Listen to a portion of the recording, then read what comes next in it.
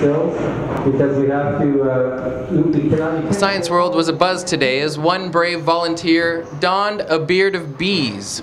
So Peter asked, can we go down my shirt at the back? Uh, this is a beard of bees. This is something uh, beekeepers do where you can actually, from the pheromones from the queen and such, you can actually put a whole colony, in this case about 5,000 bees, on someone's face and still have it completely safe.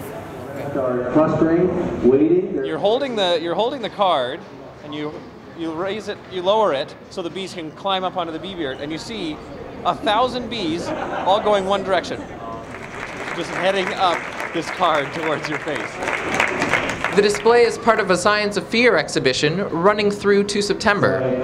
You're out in the, in We thought this would be a fun one. This is a, a fear that's very easily identifiable for a lot of people. Uh, I think we've all had a bee buzzing around our head before, and so okay, would you be willing to face your fear? Would you be willing to wear these 5,000 bees?